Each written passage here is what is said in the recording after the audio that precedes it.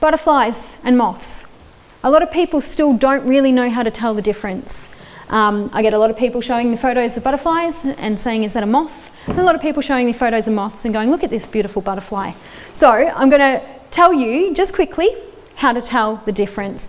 Now, I use this photo here. If you can see this here, this beautiful Madagascan moth on the left-hand side there. That's right, that's a moth. This here is a moth. Some of our moths are spectacular. You would never think that was a moth. That's a Madagascan moth. Obviously, we don't get them here. It's from Madagascar. Um, but these little guys on the right here, they're from around here, and they're butterflies. So just to show you how deceiving they can be, the big beautiful one over there is a moth. This little shabby thing here that's probably about that big is a butterfly. So I'm going to tell you how to tell the difference in a moment. But really, what it comes down to is the fact that there's not a great deal of difference. So there's been some recent research that's come out of the McGuire Centre in Florida, and the research shows that there's really not a great deal of difference at all between the butterflies and the moths. And in actual fact, there's more difference between different family groups of moths than there is between some of the butterfly family groups and other moths. So I need to stop thinking about butterflies and moths and start thinking about Lepidoptera, which is all butterflies and moths, because they are all practically one in the same. There is not a great deal of difference between them. But how do we tell the difference? So here we have a butterfly and we have a moth. There are a few fundamental things that you need to look at and think about when you're wanting to know whether or not your photograph or the specimen that you have is a butterfly or a moth. And that comes down to the antennae. So a butterfly's antennae always has a long narrow filament with a little hook or a club at the end of it. Whereas a moth, and you might need a hand lens sometimes to see this, has these sort of feathery antennae. That's the number one thing to look for. All these other misconceptions about butterflies flying in the day and moths flying at night, that's not true at all. There are a lot of day flying moths, and there are a couple of butterflies that are actually active at night too. The cabbage white, or as some people would call it, the cabbage moth, which is actually a butterfly, can fly at night too.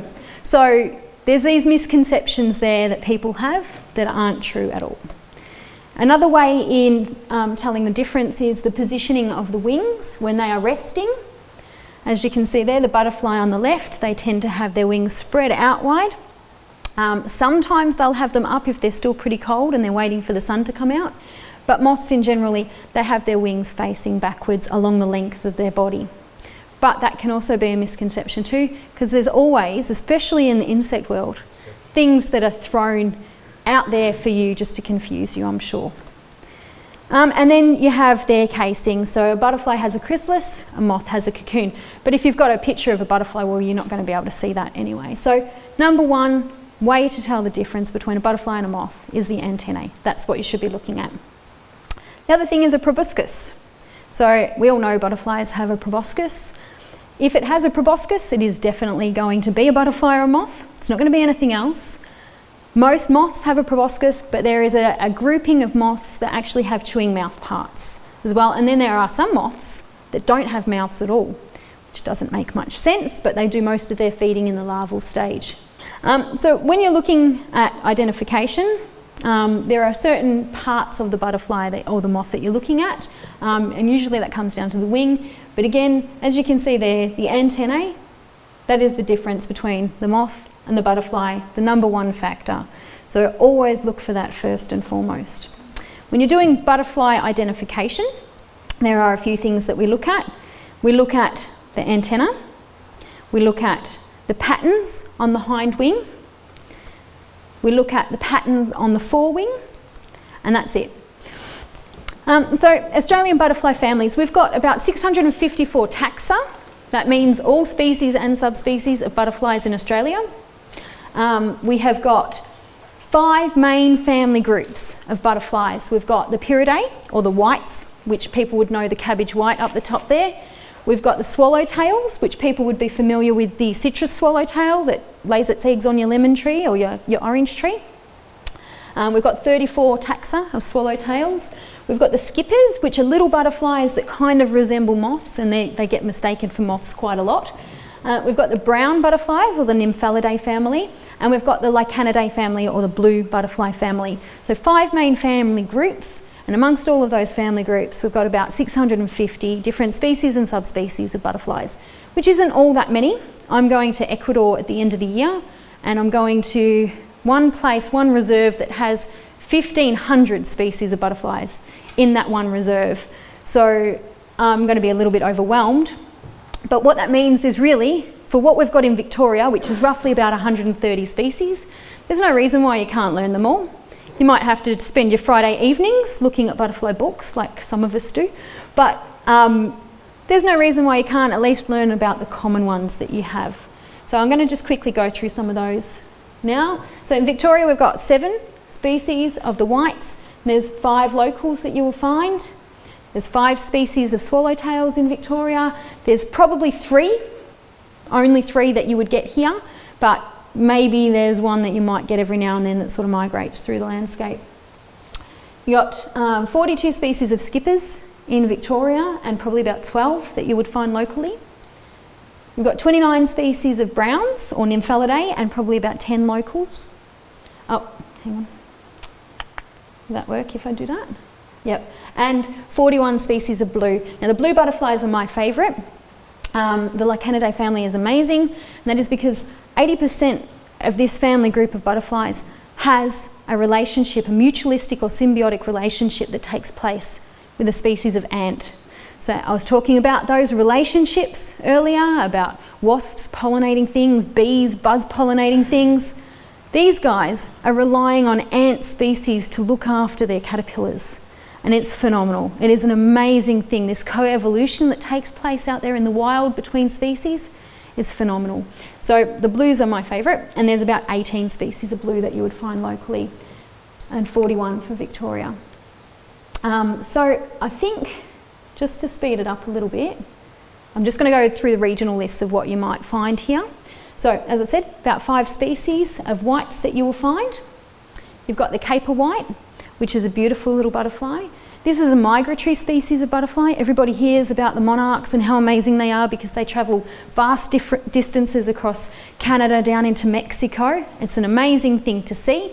Um, but this little guy does it here in Australia, and most people don't know about it. This species will migrate from New South Wales, top end of New South Wales, down into Victoria.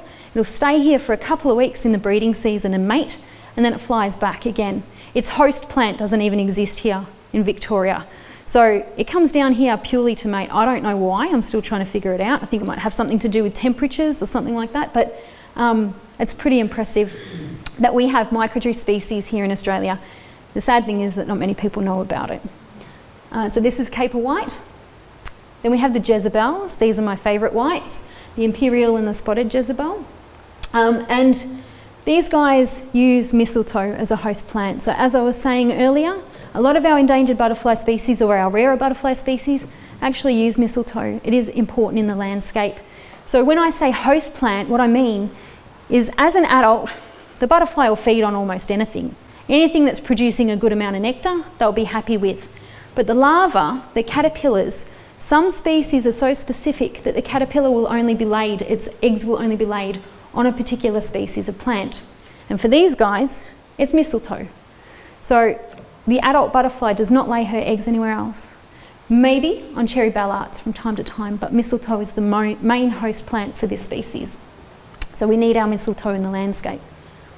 So uh, these are native Australian butterflies? Yes. On mistletoe, which is an imported No. plant. Mistletoe No, is a native species. native? Yep, most Oh, definitely right. yes. So it's different from the mistletoe in Oh, yeah, North, yeah, Hemisphere. Yep, our mistletoes are native, and we've got quite a lot of species. I don't know if I bought my mistletoe book, um, but yeah, native. They need to stay there. Leave your mistletoes on your trees. Um, host plant for some of our rarer butterflies. It's essential stuff. And like I said, birds, insects. We need our mistletoe. Yep. So um, the other thing I worry about with this species is if you have a look there at the larva, you can see this here. What does that resemble to a lot of people? That caterpillar there. Spitfire. Yeah, that looks very much like a Spitfire to me. Um, and I worry about these species because I'm wondering how many of these caterpillars are getting pulled off trees and killed because people think that they're spitfires and they're actually not. So I guess that the thing is, is learn about what you've got before you act on it. Really is what it comes down to. If you see a plant, you think it's a weed, but you're not sure, but you think it might be, don't dig it up just because you think it might be. Get a book, learn about it, identify it. If you're really not sure, send a sample into the museum and, or the herbarium and get them to actually identify it for you. Not from the larvae? Oh, not from the larvae, I'm talking about plants. So if you, you know, if you're looking at something you think it's a weed, you don't know, ask somebody. If you can't get an answer, send your specimen off to the herbarium and they will tell you exactly what it is. They'll tell you whether it's a weed or not before you dig it up. So learn what you've got before you act on it because you might be wrong. You might actually be removing these beautiful butterfly species from your garden or your landscape because you think it's a spitfire. Um, cabbage white, this is actually an introduced species. There aren't very many introduced butterfly species, but this one is. Um, I don't ever think that butterflies would get completely out of control, that they would become an invasive pest, but um, these guys are obviously pests in our veggie garden. So this is one of the few butterfly species that I'm okay with saying, you know, if you're growing your veggies, you know, whatever. I didn't hear it. Um, but yeah, this is a, another misconception. This is not a moth, it is a butterfly. But maybe they're so closely related that it doesn't matter anyway. Uh, small grass yellow is a lovely little little butterfly. Um, you would have that around here. This one would occur in your gardens sometimes too. Um, very small, and it is also a migratory species. So a lot of our butterflies do actually move through the landscape. Some of them, especially the small blues um, and the small skippers, are so specific that they will only be in a particular area, whereas some of the bigger ones that can move vast distances will actually travel across Australia. So we do have some migratory species. So what's the lifespan of a butterfly? Well, that very much differs from one species to the next.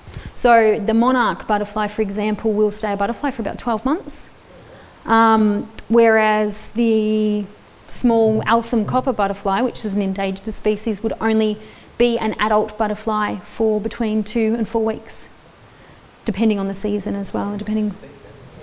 Yeah, well, it, it does, it varies depending on the species and its, um, I guess, the habitat that it's living in, whether or not it migrates. And then you've got other things like, you know, whether or not it gets eaten by a cat. so, um, yeah, so there's, it, it, does vary quite a lot.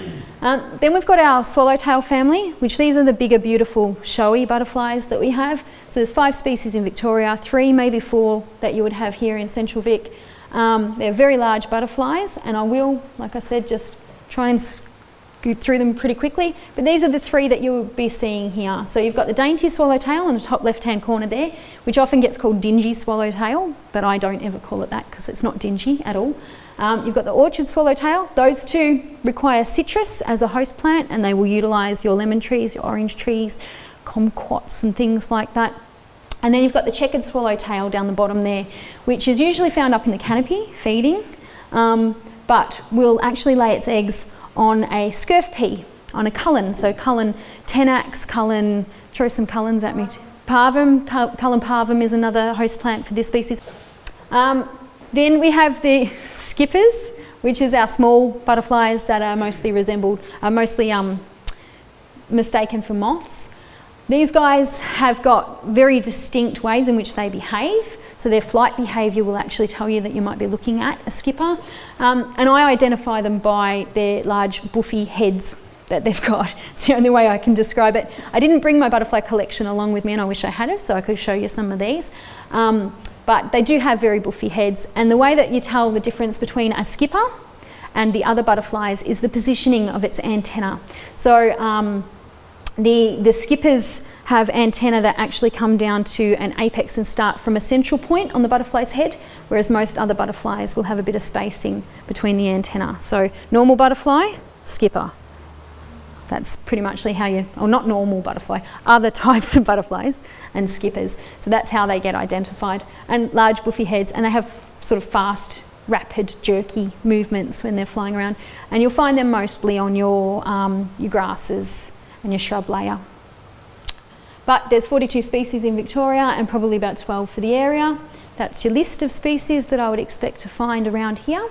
I won't show you all of them, but here's a couple of pictures of some that you might see. This is a heath, a heath ochre.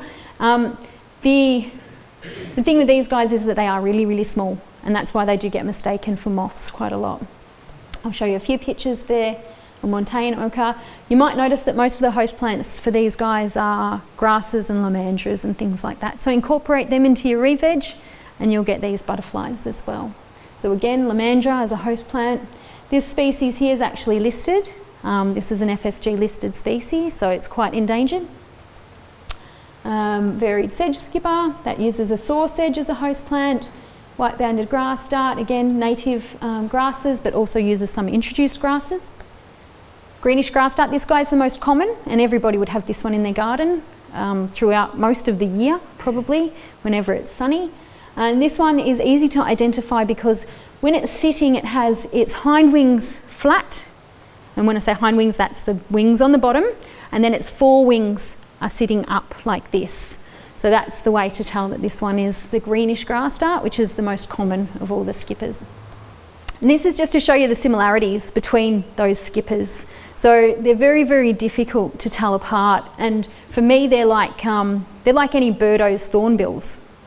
So they're very, very difficult to tell apart. And the way in which you do it is that you have to have a specimen and you have to have a look at the different patterns and different bands and things and their position on the wing and whether or not they fall within a, a particular section. It's like dragonfly ID is very similar. Um, so there's a lot of hand lenses and, um, and looking at things under microscopes or you just have to have a really good eye. That's to scale, yeah. So that, that's saying, they're not saying they're one centimetre, they're saying that there's a scale bar there of a centimetre. So the wingspan of that one there, for example, in its entirety is about two centimetres. Yeah. Um, and some of the bigger ones are a little bit bigger, but skippers are really small, and that's why they get mistaken for moths quite a lot. Um, Moving on, we've got the browns or the Nymphalidae family. Um, there's about 10 species that you might find locally, and I think I've got lots of nice pictures of these guys because you'll see a few of these in your gardens. We've got the common brown. Um, so this is a species that shows, I'm not sure if you've ever heard of it, but sexual dimorphism. It's whereby you have a male and a female and they're almost very, very different so different that you would think they were a different species. So in the top left there, you've got a female common brown species, the bottom right there, you've got a male. So if you saw those out in the bush or in your garden, you would think they were two separate species of butterflies. And what you're seeing also is the difference between the, um, the top view of the wings and the underside of the wings. And in most identification for butterfly species, you need to see what this looks like and what this looks like to be able to identify it from a book. So you need to see the underside and the top of the wing. So if you're going to take a photo and you want to find out what it is you're looking at, you really need to have a photo of both. It can be quite tricky. Um, we have Meadow Argus. Everybody's seen this gorgeous little thing. I'm just going to scoot through them really quickly. I won't talk about them too much. Um, but these are all the most common ones. Everybody knows the monarch. We've got two types of monarchs in Australia. We've got the lesser wanderer that's on the left there, and then we've got the monarch that everybody knows. The lesser wanderer is actually a really beautiful butterfly if you get a chance to see it. Painted lady is another very common species. Yellow admiral. And this is my favourite of the browns, the tailed emperor, which most people probably haven't ever had the privilege of seeing. This guy flies so high up in the canopy that um, it's, it's a very rare occurrence that you might actually see it but is one of the most spectacular butterflies I've ever seen. Uh, and then we have the blue family group. So as I said, about 15 species probably that you would find locally. That's the list there, but I won't go into them too much. But they can be quite varied in the way that they look. Um, you've got a long-tailed pea blue on the left there. That's, um, you know, it's probably only about this big. Um, got nice blue to brown hues on the top wings and then underside. With the blues, you really need to see the underside of the wing to be able to identify them. Um, there's a saltbush blue in the middle there, um, a Candalides on the right, which is a pea blue, I think. Um, and then you've got a hair streak down the bottom, which is really beautiful. As I said, there's quite a few species for this family group.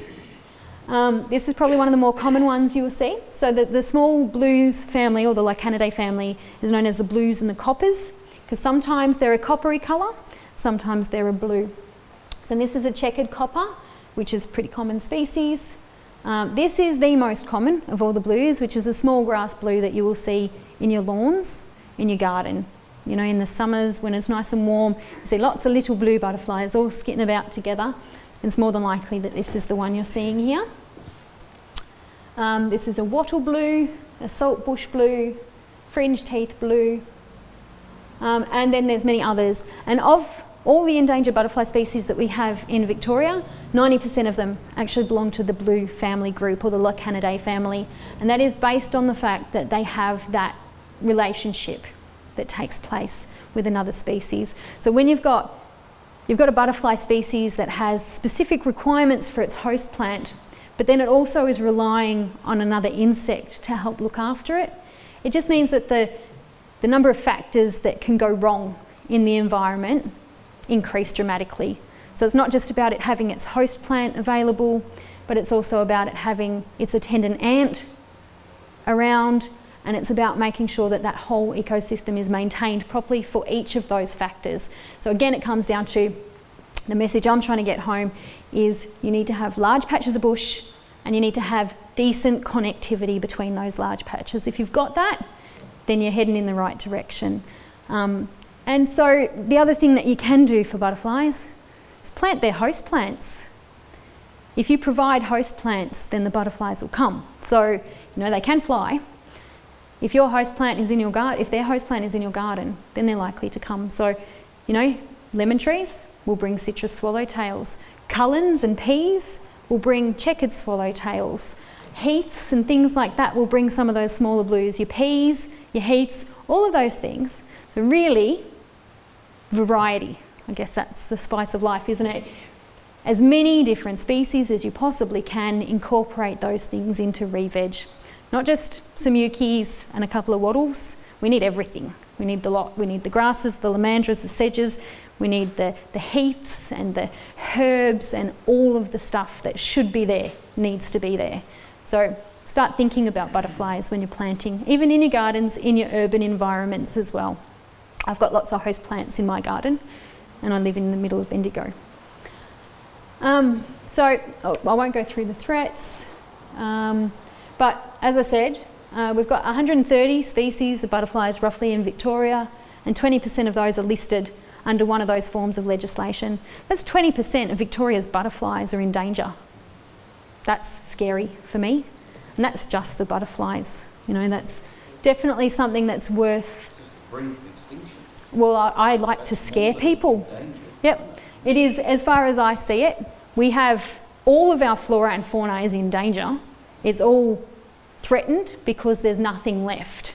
You know, like I said, Central Vic, less than 15% left. That's in danger. When we've got 20% of the species listed and recognised by our government that they're rare and threatened, that's to me on the brink of extinction. Some of these things will go extinct in my lifetime, I'm sure of it. Unless can do something about it and encourage people to help. And that's why I'm here, I guess. So that's about it. I won't go any further into the butterfly stuff. But this is the field guide you want to get here by Ross Fields. This is another really good one. This is an Australia-wide field guide by Michael Braby. And this is my favourite butterfly book. Um, it's just a really nice table book, which is by Kitchen. Um, it's all hand-drawn, uh, beautiful descriptions and things. It's actually really nice to have on your coffee table. It's a great way to learn.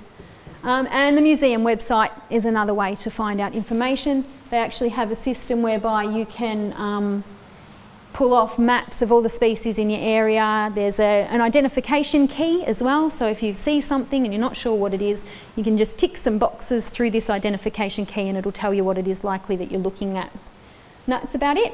So thank you. Thank you. Thank you.